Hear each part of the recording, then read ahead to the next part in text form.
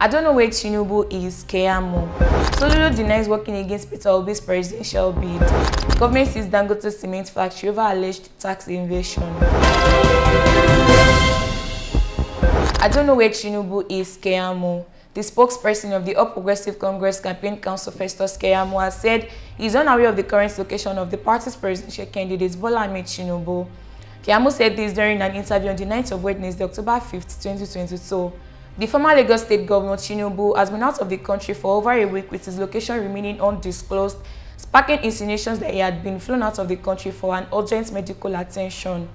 He posted a video on his Twitter page on Sunday, October 2, 2022, wherein he can be seen riding a spiny bike to prove his fitness. However, that did little to convince many doubts, as well have continued to insinuate that the All Progressive Congress presidential candidate is being treated for a serious ailment. Reacting to the development, Keyamo dismissed the speculations that Tinubu had traveled out of the country to seek medical attention.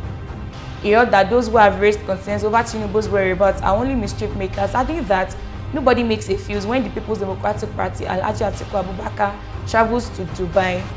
Keyamo specifically said that Tinubu is not in the country currently and doesn't have any information on where exactly he is.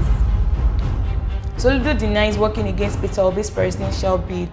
Anambra State Governor Professor Chukwuma Soludo has denied allegations that he's plotting against the presidential bid of the Labour Party candidate Mr. Peter Obi. Soludo's denial came amid growing speculations that he had informed members of his political party, the All Progressive Grand Alliance APGA, to mobilize against Obi in the 2023 general elections. According to the reports in some publications, Soludo charged Anambra APGA to work against Obi at the post because he was not in the admission of presidency after Atiku Abubakar. In a statement issued in on Wednesday, October 5, 2022, Soludo's press secretary Christian Aburime debunked the allegations saying that at no point during the meeting was Obi a point of discourse.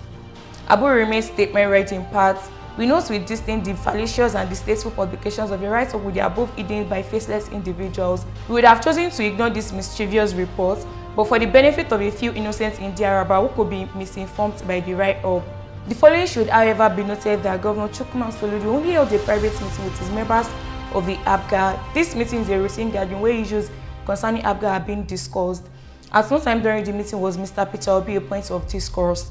It is pertinent to note that the issues discussed at the meeting were purely issues relating to APGA affairs. We therefore urge in the Anambra and members of the general public to completely ignore and disregard the publications in all its entirety. Government seals Dangote cement factory over alleged tax evasion. The Kogi State Internal Revenue Service has sealed Dangote cement factory in Obajana, Kogi State. According to reporters on ground, the Kogi State Internal Revenue Service sued the company on Wednesday, October 15, 20 over tax evasion and acquisition controversy. The action was reportedly backed by the Kogi State House of Assembly. Kingsley Fanwo, who is the Kogi State Commissioner for Information, was quoted as saying, pursuant to the constitutional authorities of the Kogi State House of Assembly and upon petition by the people of Kogi State, an investigation was carried out on the acquisition of Obajana Cement Company by Dangote Company. It was found that no valid acquisition took place as Dangote could not show evidence of what was paid as consideration for the acquisition. The legislators invited the chairman of the company, Aliko Dangote, before the House for explanations, but he failed to appear before the State Assembly giving excuses.